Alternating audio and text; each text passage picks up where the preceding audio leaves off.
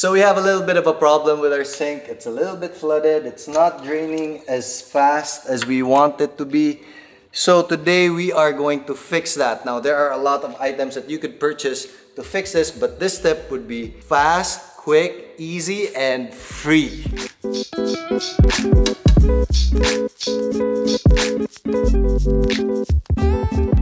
Taken out the drawer underneath so we can access the bottom. This is for the kitchen sink, but stick around. I'll show you just a little bit of tip for when you need to do it in your bathroom sink. There's just one little extra step that you have to do. But for now, let's stick with this. And we have our handy dandy flashlight. I've featured this before. I like this because it's a work light. Link down below. And you see this one. This is what is called a P-trap. So we need to understand this for a little bit. So this is your sink and this is called a P-trap. So a P-trap is shaped like that.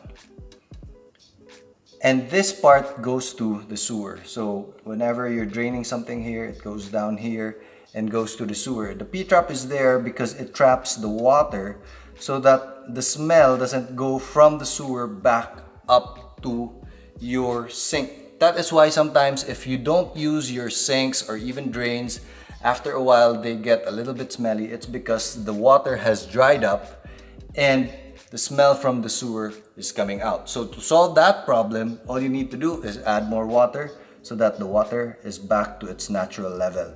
Anyway, this sometimes gets clogged with fat or with food we place down the drain and everything else. So all we do is remove this this part, which is this. So let me demonstrate. You need a bucket. Just unscrew this. Simple as that. The bucket is there for the water. Unscrew that, and this is going to be the yucky part. Ugh, yuck. All these things have gunked up, and look at that, and there's like hair, and that's what we need to get rid of. Yeah. okay, so we've taken out the P-trap and now we have to do one extra step.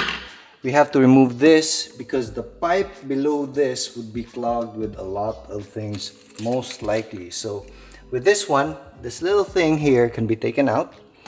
I'm using this one. Just twist it out. Uh, so we've taken it out and if you see, this one is taken out, taken out, and the pipe here below, look at that, here upstairs, love. This has this has fallen down, pero it's still in place. But look at all that gunk that has to be cleaned Ew, out. What is that? And that is the problem. So to give you a better idea of how this whole thing works, this is the drain. Just in case everything is flooded here, it goes to here and goes to this thing here. And the rest is all the food that we have put down the drain unintentionally. So we'll have to clean all those things up. And after that, it would be okay now. We've cleaned everything up. We've cleaned the thing down below, this one. And now it's time to attach it back together. Remember to install the gasket that comes along with it and then it's just a matter of screwing it back in. Oh, pwede to no? Oh, you can actually use this. Alright. Putting this back inside. Simple as screwing it back in.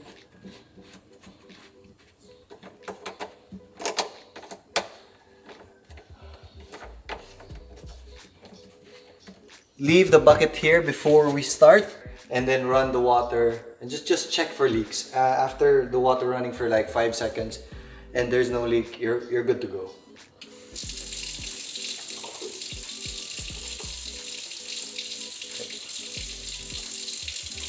So just to demonstrate we are now ready and it's draining super fast now. Okay as promised we are in the sink area of the bathroom. This is a different problem naman because here in the sink, most likely it's hairs that get caught. Now this isn't clogged, but I'll show you how to go about it. It's fairly similar, just a little bit of a different step. if you come down with me, if you notice, it's the same P-trap. So this is what you remove first. You just remove it from here and these knobs. But to remove the top portion, this portion is a little bit different. What you're going to do is this thing here. So you take this out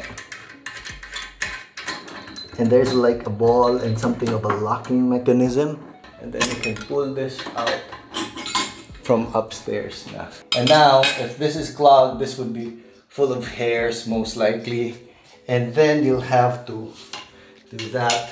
You can put a newspaper or some something here to help clean the whole pipe down. Of course you have your bucket underneath to gather all the dirt and stuff. And then you can just put it back in. Just make sure what you need to do is get the rod back in to this little hole here when you're putting it back in. Ayan. Guys, quick and easy. You don't have to buy anything fancy. It's just a matter of knowing your things around the plumbing lines down below. And uh, I'll see you later.